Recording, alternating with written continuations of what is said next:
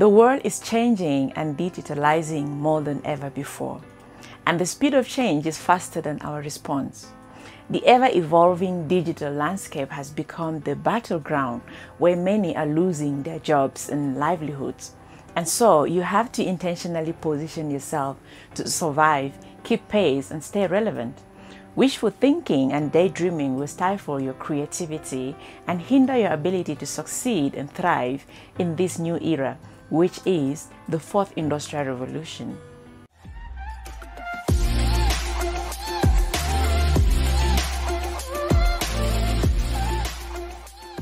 Hello everyone and welcome to another video.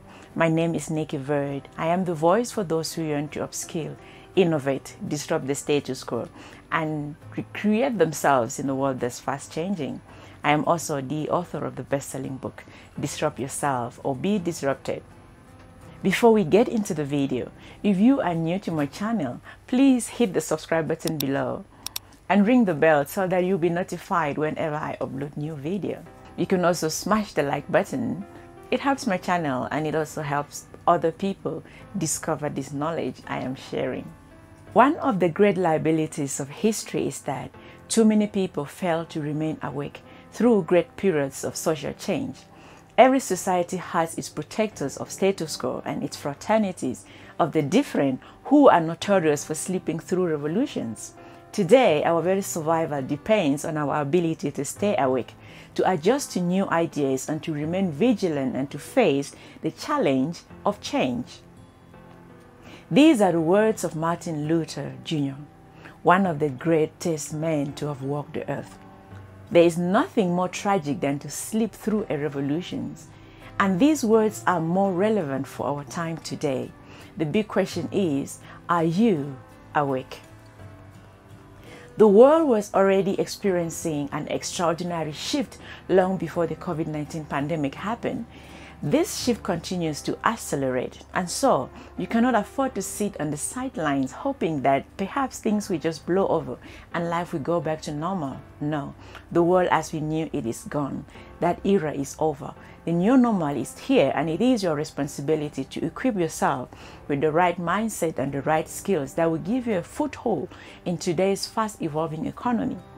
Those who understand this and can adapt the fastest will be the winners in this era. As technology continues to advance, government entities, private sector, and other institutions are relying on digital technologies to drive economic growth, promote socio-economic development and cultural achievement.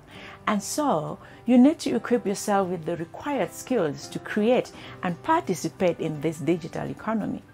However, I do understand that phrases like digital or the fourth industrial revolution, they still represent an unfamiliar world for many people today. But I'm here to help you understand the basics so that you can let go of your fears and embrace the digital world we are living in today.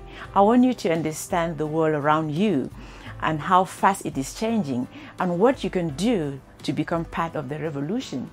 Instead of being a casualty in new technologies, I'm here to show you how you can ride the waves of change, how you can future proof yourself and your skills, how you can position yourself to become a full participant in this digital economy.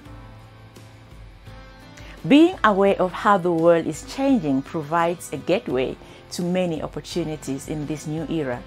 And so, here are five steps for you to position yourself and ride and enjoy the waves of change in the fourth industrial revolution and this digital economy. The first step is to shift your mindset. The mind is where the revolution begins. Just a few years back, I would have described myself as technologically challenged when it comes to these topics of tech or the digital world, but that's no longer my story. I was technophobia, of course. I was very intimidated by technology. And I can say I'm still very much intimidated by technology on so many different levels. And whenever I say I'm intimidated by tech, some of my friends started rolling their eyes and looking at me like, Nicky, what are you talking about? You wrote a book about tech. Anyway, the point is that you need a shift in mindset because I wouldn't be here and we wouldn't be having these conversations if I did not changed my mindset about how I was viewing technology.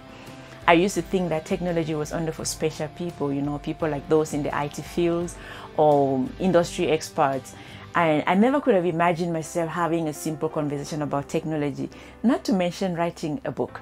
But I did it, and because I had a shift in my mindset, and I've told the story so many times of how it all happened.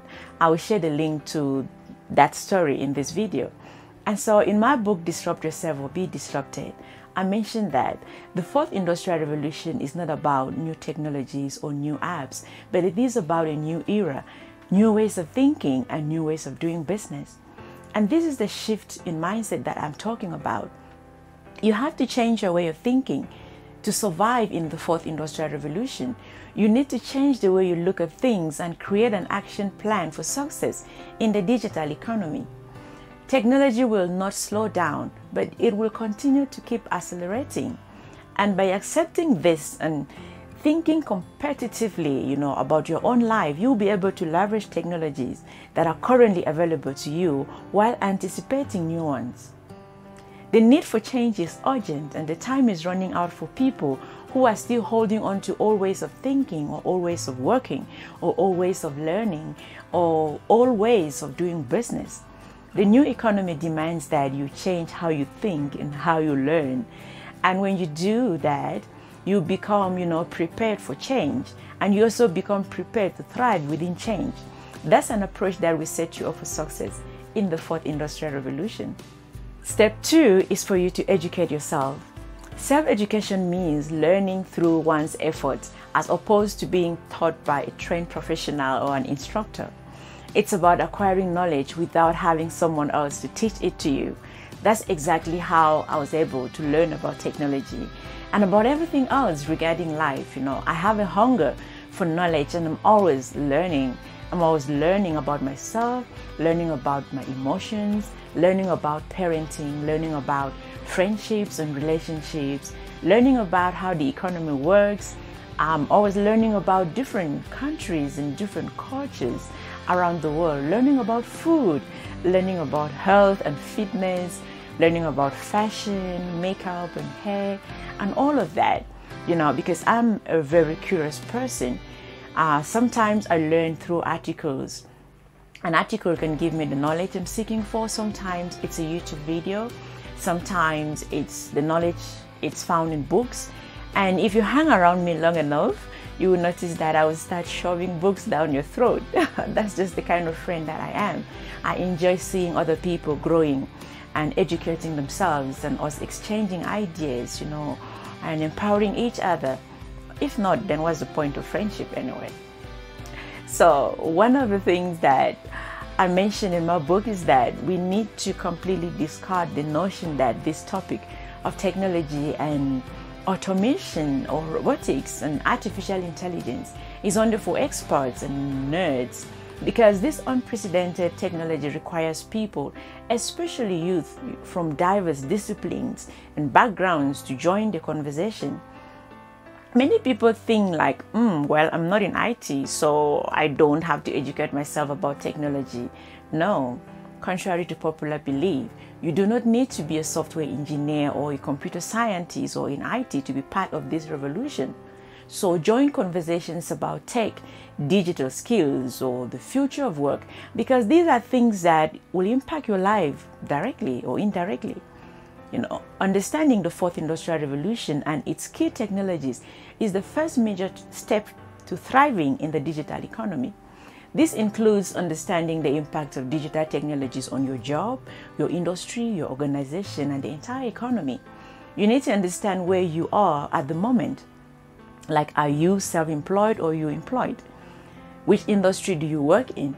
What skills do you currently have? Are these skills relevant? What skills do you need to stay relevant? Most importantly, you need to understand how technology is changing your industry. Do you see yourself in that particular industry or in that particular job long term? What career shift is more suitable for you? How is digital changing your business or your job? You know, what is your life purpose and how can you execute it in, in a digital world? These are important life questions. Educating yourself about new technologies and their impact will help you answer these questions and put things into perspective. This isn't about being an expert in all things tech, but it's about understanding the basics and being aware of how technology is changing the world. As Martin Luther Jr. said, there is nothing more tragic than to slip through a revolution. So, educate yourself to remain awake Educating yourself involves reading books, articles, watching videos, attending industry events, and taking online courses, which leads us to our third point. Third step is for you to learn digital skills. Don't stop at acquiring only head knowledge, but proceed to acquiring tangible, marketable skills that will give you leverage in the digital economy. The speed of change in technology demands an equal speed in acquiring skills that the new era requires. While governments have the huge responsibility to provide the necessary infrastructure and the environment for you to thrive in the digital age, you also have the responsibility to ensure that you are proactive in the digital upskilling of yourself. You need to ensure that you are well positioned to take advantage of opportunities presented by the fourth industrial revolution you need to learn how to leverage technology to increase your value and your human capital. Acquire the best skills and the, the best knowledge so that you can future proof yourself. We are presented with opportunities brought by the fourth industrial revolution. These opportunities require that you are fully equipped with the necessary digital skills. Will, this will empower you, of course, to contribute to the digital economy while addressing other pressing issues that are facing maybe your community or your city and perhaps your country at large. Digitally upskilling yourself will give you the ability to creatively match technological solutions to everyday real life problems. Digital skills will give you a high level understanding of the digital world and their application in the economy Digital skills are critical for the future of work, and you have to proactively be seeking ways to equip yourself with these skills so as to take advantage of the opportunities presented by the fourth industrial revolution. Digital skills such as marketing, SEO, coding, data science, blockchain, AI, um, cybersecurity, just to name a few, these are skills that are relevant in today's marketplace. And there is a high demand for skills in sectors such as retail, hospitality, tourism, financial services, sales, customer service, human resources, data management, and information technology because technology is touching every industry, even those working in manufacturing need digital skills. People with just one fixed uh, skill set will not be able to survive in this era. So you have to learn different skills, learn different marketing skills that will allow you, you know, to be able to make decisions regarding your life. Learning even the basics will help you understand which technologies you should study in depth. For example, an IT uh, technician may have to study, say, data science in depth. Meanwhile, a manager may only have to study about the basics of the fourth industrial revolution without necessarily having to be an expert in any of the technologies. So, whether you are young or you're old, digital skills are critical for the times in which we're living. Digital skills will empower young people to be self sufficient and to pursue entrepreneurial ventures, create jobs for themselves rather than just being, you know, job seekers or being angry at the government. Digital skills will help them to be able to create something for themselves. The fourth step is to network and build relationships. In today's connected world, you cannot really do much by yourself. You need people. Opportunities don't magically fall down from heaven. They come through people. Knowledge don't magically fall down from heaven into your brains. It comes through people as well. Even as you're listening to me, I suppose you'll learn a thing or two. And so, networking is a necessity. Anyone seeking to understand new economic trends or how to advance their careers or business cannot neglect networking. Mountains of research shows that professional networking leads to more opportunities, more jobs, more exposure, and more business. Research also shows that networking improves your knowledge of the world, the economy at large, and your capacity to innovate. I haven't traveled the world that much, but I know a lot about different cultures because I have connections that have exposed me to their culture through social interactions. I have also gained a lot of knowledge about technology through networking and interacting with people in the tech industry. So, building and nurturing relationships gives you access to resources necessary to foster your business and career development. Imagine what life would be like without social interactions. And so, you cannot really ride and enjoy the waves of change in this new era without connecting and interacting with like minded people. I'm always on the lookout for new connections, so let's connect if you're on LinkedIn or Facebook. I have the same name on all of my social media. Research shows that success has a direct link to your networking skills. That is why the most connected individuals end up as the most successful. Investing in both personal and professional relationships has a good return on investment. Interacting with people will help you, you know, to keep up to date with the job market, stay in touch with current trends and meet prospective clients or mentors or partners and much more. Building relationships and collaborations creates value for yourself and for your business and your career. Sometimes you can make up for where you are lacking through networking if you're lacking, maybe academically or even financially, you can make up for it with the right connections. Someone knows something that you don't, and you can learn. I can boldly say that people have been my best teachers. Some of the people that don't even know, you know, but they have given me an equivalent of an MBA in certain skills that I didn't have prior to knowing them. So I learn from everyone all the time. And I always come out with lessons to improve myself in every interaction, whether it was bad or good. So you limit yourself if you're only relying on the rigid school system or on your certificate to, to serve you. Sometimes networking can open doors for you that your certificates cannot. I have met so many amazing people and I've been exposed to so many opportunities I never thought possible simply because I opened up to the idea of networking and talking to strangers. It's not easy, believe me, but it's worth it. For those that are shy or introverted, networking probably feels like a brutal trial by fire. And I understand because even for the extroverts who love and thrive on social interactions like myself, networking is still difficult. But like I said, it's worth it. Networking is an important skill. It's a skill like any other skills, and you can learn it. For me, I find networking easier online, so it's easier for me to hide behind my computer and start a conversation with a complete strangers than doing the same thing in real life. So you can try the same as well. Network with people online. And the fifth step is for you to stay curious. Keep your antennas up Stay in tune with what's happening in the world around you. Curiosity is the ability to apply a sense of wonder and a desire to learn more and understand how things work. Curious people are always trying new things and asking new questions and searching for answers. Curiosity is a trait frequently associated with explorative pursuits you know, it is a mindset seeking and trying to embrace knowledge, which can be developed to boost success in your life, your business, or your career. The impulse to seek information, new experiences, and explore novel possibilities is a basic human attribute, but many people don't think of curiosity as a must have skill. You know, only curious minds inspire questions that gives us answers to solutions we didn't even know. Most of the breakthrough discoveries and remarkable inventions throughout history, from flint of starting a fire to self driving cars, they all have something in common.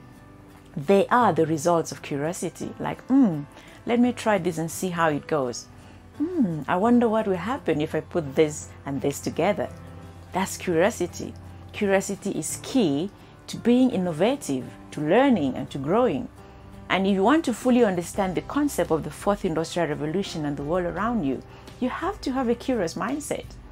When you hear of new technologies coming up, as a curious person, your thinking should be, hmm, I wonder how artificial intelligence is going to affect my business or my career.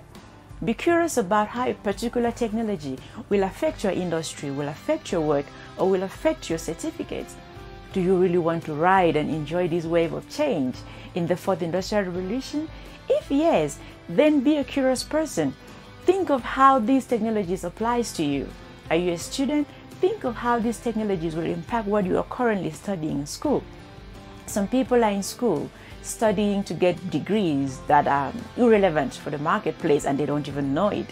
Some are holding onto certificates that are completely obsolete and they don't even know it because they are not curious enough to ask questions. So be curious.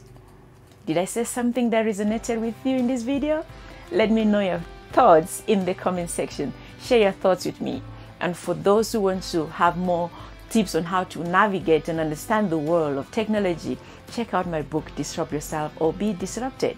It's available on Amazon and on my website as well. I will share the links in the description below. And if you love this content, please share this video on your favorite social media platform so that more people can be inspired. And remember to subscribe to my channel if you haven't done so. I am looking forward to seeing you in my next video. And thank you for watching.